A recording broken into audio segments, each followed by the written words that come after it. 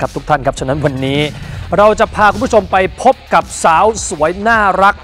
ที่อาจจะทำให้น้ำท่วมโลกได้นะเพราะว่าตอนนี้คุณผู้ชมทราบดีว่ามีการแข่งขันกีฬาฤดูหนาว แต่ความสวยฮอตร้อนแรงของพวกเธอนั้น อาจจะทำให้น้ำแข็งละลายได้ มีใคร สวยบาดใจแค่ไหนเราจัดไป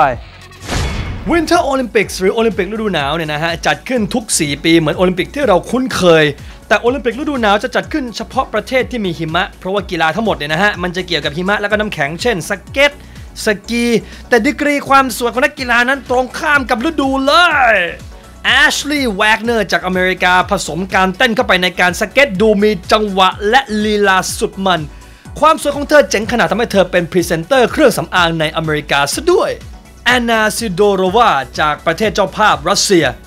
ร้อนแรงจริง ๆ ครับ นี่ขนาดแค่โพสท่ากับอุปกรณ์ที่จะใช้ในการแข่งขันยังเซ็กซี่ได้ขนาดนี้นางแบบชัดๆลินซี่วอนคนนี้เนี่ยทั้งสวยทั้งเก่งแล้วก็หุ่นดีนะครับ ดูจากแฟชั่นเซตนี้โอ้โห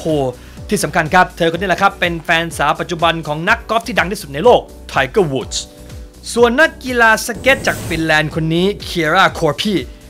ว่ากันว่าเธอคือเจ้าหญิงน้ำแข็งแห่งฟินแลนด์ครับ หวานเท่ สวยถึงขนาดเว็บไซต์สเก็ตทองคำ .com ยกให้เธอเป็นนักกีฬาสเก็ตที่สวยที่สุดในโลก และสุดยอดความภูมิใจของเอเชียคิมยูนานักกีฬาจากเกาหลีใต้นะครับ เป็นขวัญใจเอเชียเลยเพราะเมื่อ 4 ปีที่แล้ว เธอคว้าเหรียญทองในการแข่งขันสเก็ตลีลาหญิงไปครองในวัยเพียงแค่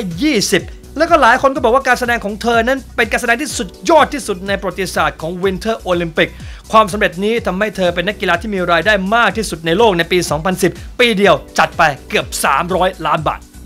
ส่วนสาวที่ได้หัวใจของหนุ่มไทยมากที่สุดแน่นอนครับ เป็นนักกีฬาของทีมชาติไทย ที่ลงแข่งในกีฬาฤดูหนาวที่สำคัญนะครับ นอกจากเธอจะเป็นนักกีฬาแล้ว เธอยังเป็นสุดยอดนักดนตรีชื่อดังระดับโลกไปรู้จักกับเธอกันเวเนซ่า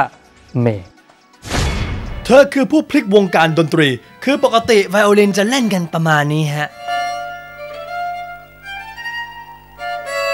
แต่วาเนสซ่าเมย์ทำให้การสีไวโอลินมันมันสักขนาดนี้